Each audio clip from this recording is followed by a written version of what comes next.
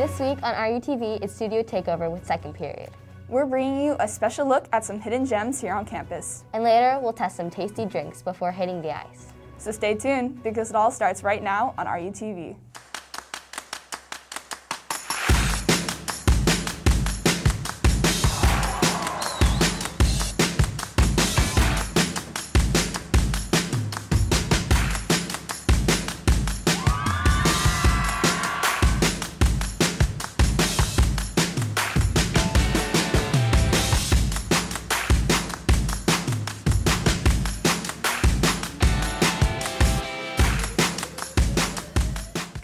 Morning, Seahawks. Today is Friday, February 11th. I'm Grace Carroll. And I'm Taylor Roth. Welcome to the first official RUTV Studio Takeover of the 2022 year.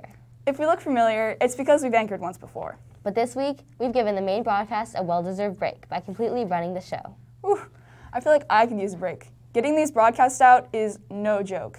That's for sure. And hey, you're in luck because I know the perfect place we can go to relax just down the hall. Oh, yeah, you're right, the Wellness Center. I totally forgot how convenient it is to get there. So why don't we go check it out right now to let everyone see what it's all about? Sounds good to me, and I'm sure Miss Andrews has lots of information to share with our fellow Seahawks. Vamonos! Hi, my name is Rachel Andrews, and I'm the Wellness Counselor at Redondo Union High School. So, as the Wellness Counselor, I see students individually and also in groups, run different programs to help support students with their overall health and mental health and well being. For students who aren't sure to come, I would say come and look at the space. Uh, we've got a really nice area where you can just relax and hang out. Um, we've got tea and coffee and hot cocoa, bottles of water, sometimes snacks, also phone chargers. The general environment at the Wellness Center is very calm and peaceful and very accepting and safe. So, really, people from all walks of life, whoever you are, um, you're welcome here where you can come and just relax um, and be yourself. And there's no expectations, um, there's no judgment. You can just be who you are. You don't have to worry when you're in this space about um, like homework and all these other things. You can just come and exist. The Wellness Center is important for students because uh, mental health amongst our students has really, really gone down in the last few years mainly because of COVID, but just in general overall. Um, and at the same time, awareness about mental health needs has gone up.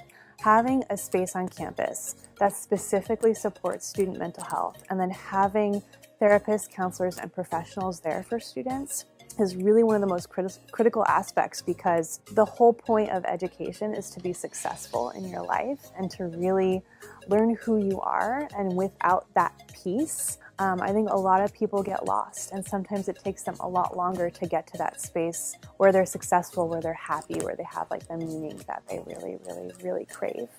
Um, and so having this on campus, I think, is what just what students need. It's not just about like academics, right? It's about who you are as a person. So so far, we've done a few different things. We've had a yoga instructor come to campus on some different Wednesdays to provide um, yoga. We've also had a nutritionist who's also a counselor come to talk about nutrition and mental health and how what you eat and what you drink can actually boost your mood or reduce your anxiety or improve your focus, which is really cool. And we've also had a poetry slam, which was really aimed at people who've experienced any type of sexual discrimination, harassment, or assault. And it was a very powerful and moving poetry slam. We're hoping to have more of those. Also, have a guys group going on right now. We have a stress management drop in group that's um, starting that anyone can come. It's on Mondays. And we also have attendance group for anyone who's kind of struggling to get to school. They know they need to be here, but it's just impossible to leave the house. Then we have more workshops coming up. So um, listen to the announcements. Of course, I went to UCSB, go Gauchos, woohoo! And I got my degree in psychology and my minor in ethnomusicology. And then I went on to Loyola Marymount University to get my degree in counseling, my master's degree in counseling, by way of working in the prison system. So I worked in the federal prison system for three years. I worked in the drug and alcohol rehab unit, and I also worked in the behavior modification unit. But the whole point of it was honestly, when I was working there, I just felt like so many missed opportunities happen in so many of these people's lives. Here they are, like life sentence, right? They're never getting out of prison.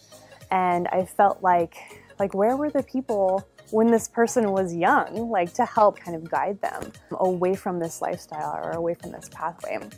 So that's what motivated me to become a school counselor. So I went to LMU um, and got my master's degree in counseling. In order to become a therapist, you have to do 3,600 hours of supervised therapy. So that took a while, and then I got my license. I take three different exams, and then I worked at Parras Middle School from uh, 2007 all the way until last year when the COVID funding came in for a mental health position at the high school. And I was like, this is it. Like, this is it. like, we've got to do this. We've got to make this stick. So I was just really motivated to come up to the high school because of all the students that I know at Parras. I was like, well, I already know like a thousand people at least up there.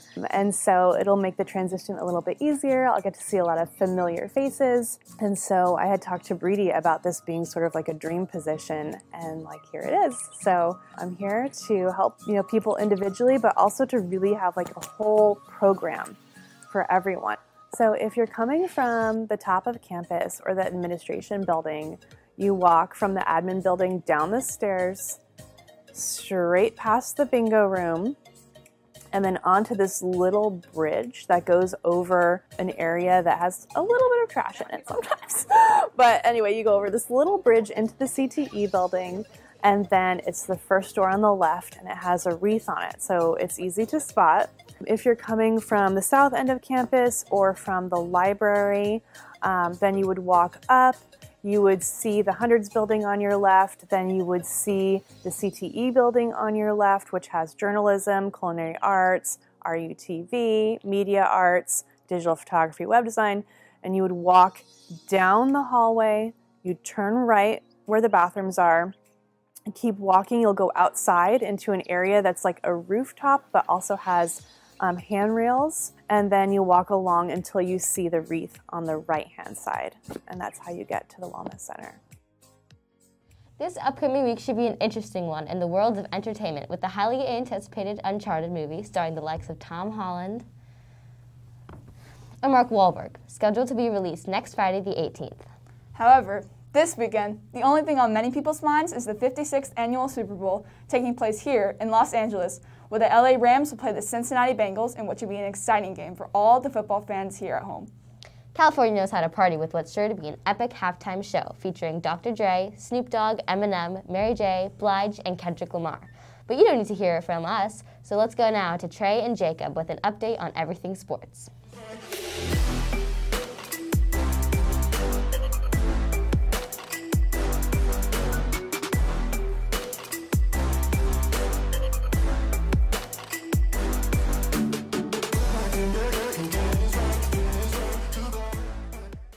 Welcome back to RUTV Sports. I'm Jacob Hatfield. And I'm Trey Dawson. After the recent surge in COVID 19 cases here at RUHS, our Seahawk athletes have finally gotten back off the bench just in time for spring sports to start up. Last Friday, our girls basketball ended the regular season in a close win, beating Costa 39 37. Morgan Edwards and Ella Zimmerman led the way with 28 combined points. They ended up placing third in Bay League and now move on to the first round of CIF playoffs. They play Lynwood tomorrow night at 7. Good luck, girls. Boys basketball also ended the regular season last Friday with the loss to Costa 48 to 59. Our boys finished the regular season with a 13 and 11 record. Senior Bradley Bennett led the team in points per game, averaging 19 and a half and also averaging a team high of 3 assists per game. Junior Cole Stokes led the team in rebounds with 9 per game and blocks with 2 per game. They play their first round of CIF playoffs tonight against Kahona at 7. Good luck, boys. Girls soccer also had an incredible season so far with a record of 12 and 1. First round of CIF starts tomorrow with a home game against Lakewood at 5. Come support our girls. Boys soccer faces off tonight at home versus Katella in the first round of CIF playoffs. Games start at 5. They're sporting an 11 5 2 season record. It's shaping up to be a good matchup for our boys going into playoffs come out to show your support. In wrestling, boys varsity took first place at league finals last Saturday. All 12 varsity boys qualified for CIF at Etiwanda High School this weekend in hopes of qualifying for Masters. Our girls wrestling individuals are today and tomorrow at San Dimas. Our girls start CIF. Best of luck, girls. Girls water polo secured third place in Bay League with their win against Penn, beating them 9 to 5. Offense did a great job with goals from multiple players. Goalkeeper Stavi had a couple of nice saves. Their season ended yesterday with a tough loss, 15 to 7, against Woodrow Wilson. Great season, girls. Our rugby team has kept its successful season alive with a clean sweep, going 3 0 in last week's tournament, beating Murrieta Valley, LA International, and the Ponies, Costa, boosting their overall record to 13 1. Senior Devin McDonough earned the man of the match with an outstanding performance, scoring a total of six tries on the day. The next tournament is tomorrow in Poway. Go get 'em, gents. Girls flag football has gained a lot of traction recently for their successful performance. The team was invited to SoFi Stadium, where quarterback Jenna Anglin was interviewed at NFL Network. We're joined by Jonathan Franklin, Rams Director of Social Justice and Football Development, and Jenna Anglin, my QB, the QB for the Redondo Union Seahawks. All right. What do you think when you see how much flag is really opening up to girls at the collegiate level now? I definitely think that there are women out there that should be in that collegiate level for women's flag football. The goal is to make girls flag football a CIF sanctioned sport. On Sunday, the girls played championship games against Leuzinger, beating them twice, and then played Lawndale High, where they won 28 to 6. Samantha Kost scored three touchdowns, and Journey was untouchable with her speed and agility. We sent Tyler Noda down to interview the girls after the game. Go! We won! We won! What's up? What's up? This Redondo! We won! Amazing game today. Amazing. You scored how many touchdowns? Uh, I think through this game. Through this game. How shocked are you right now? Because this is really huge. Um, I am. I don't know how to say. It. I'm on adrenaline, adrenaline right now from my catches. I wasn't expecting to catch those, but I did it, and I'm proud of myself. Their next game is the League of Champions final at LA Convention Center this Saturday. Well, that's all for sports this week. Keep up the great work, athletes, and we'll see you all next time. Go Seahawks! Thanks, guys. Now, Seahawks, if you ask, you shall receive. So, second period is spicing up a couple of RUTV's most requested segments from our 2021 viewer survey that the students just couldn't seem to get enough of. First up is a boba tea sampling that is definitely not similar to Tasty Time at all. So, let's just roll a clip. Welcome to Food Hunters! On this episode of Food Hunters, we're going to be boba tasting. We're going to get their best, like, blended drink, like a smoothie or a slush, and then their best tea, both with boba. Let's, so let's go. Let's go. Taylor, you're still not out of frame. so we thought the uh, honey boba had was like open, but it's closed. It's closed, so we're, we're still going to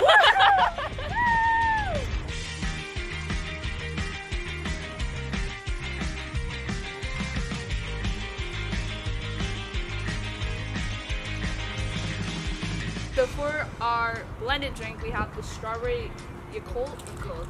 Yakult. It's not in your normal like clear cup, but there is boba in there and it's strawberry. So we're gonna taste it, and once we taste it, we'll bust open the top so we can look inside. Let's go. That's really good. What the heck? That's so good. I have so much boba in my mouth right now. this is the classic milk tea boba drink. They're number one on their menu. And I'm pretty sure these are the golden boba, not like the classic black tapioca ones. So let's I'm give excited. it a go. Uh, yeah, you can never go wrong with like a classic like just milk. It's it's milk and black. It's delicious. I rate this one an eight out of ten. I like it a lot, but I'm gonna go nine out of ten on that one. For you. this one's really good actually. It's like a strawberry limeade drink almost. I'm gonna give this one a ten out of ten. I'm giving it a 10 really out of 10 good. too. It's really good. It's really really good. Even so, if we can't pronounce it. Get this one. All right. Cheers. Now on to the next. That that was really good.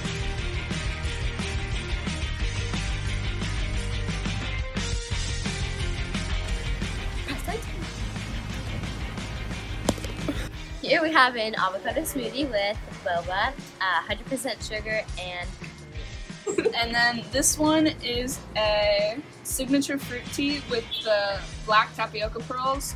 I like that. It's really subtle.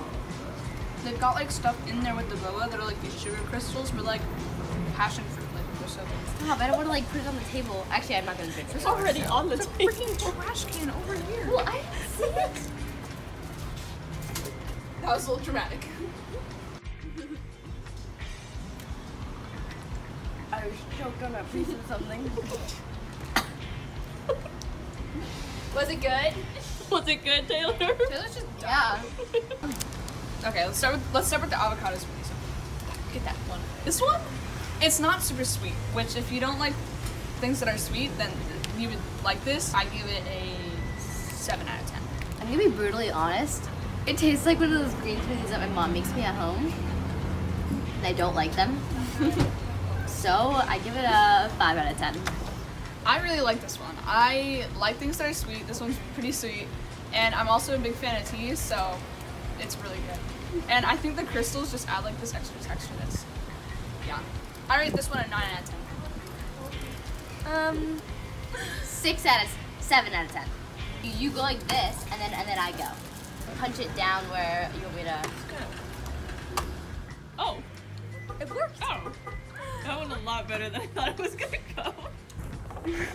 We're back! And we went to two different boba places. Ding Tea and Presotea. What was your favorite, Grace?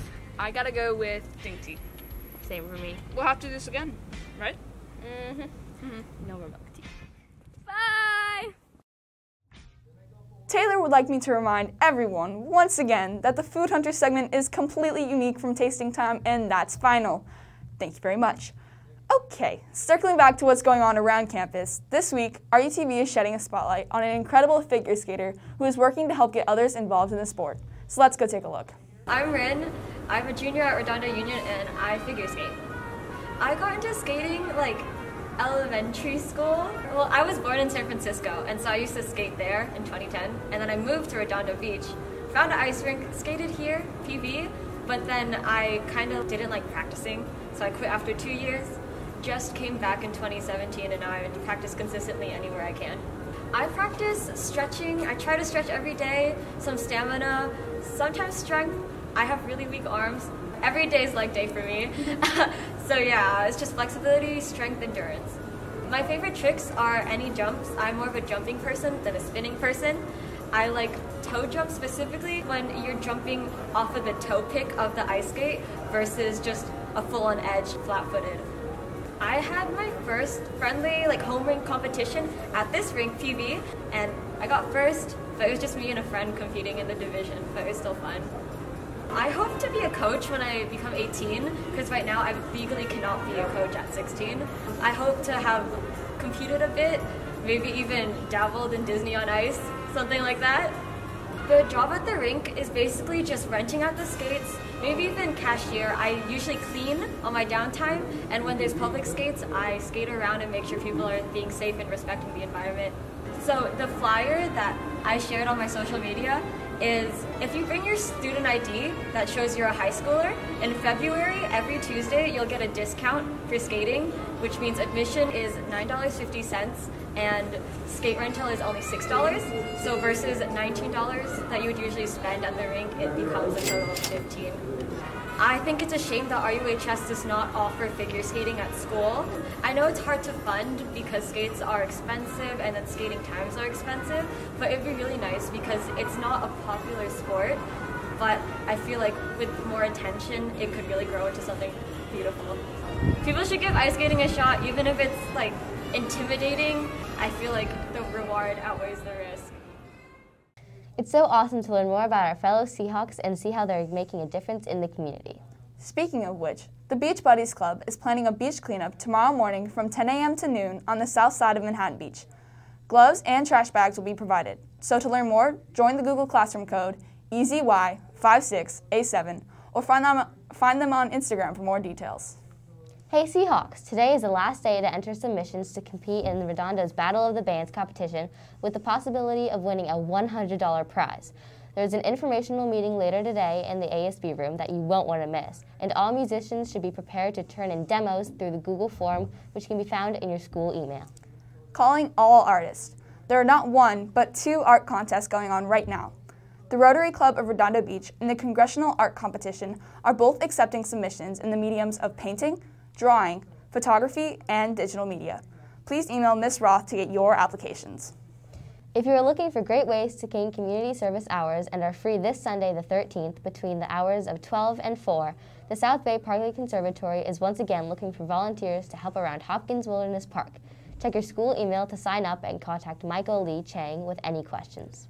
Seahawks, get excited for the first dance of 2022, Redondo Union spring formal. Be ready to experience a night on the water on the USS Iowa. Spring formal will be on March 12th from 7 p.m. to 11 p.m., and ticket sales start next week at $70 with an ASB sticker and 75 without. The price will increase each week after, so make sure to buy yours soon on the ASB web store or at the finance office. Check out at Sammy Seahawk on Instagram for more information and updates. Also, stop by Smashburger next Wednesday, February 16th to support the freshman class fundraiser. The restaurant will not be accepting online orders, but you can visit the Class of 2025 Instagram page for a flyer to show in store. Finally, are you interested in joining a team, collaborating in a school-wide project, working behind or in front of the cameras? Then you should apply to join RUTV.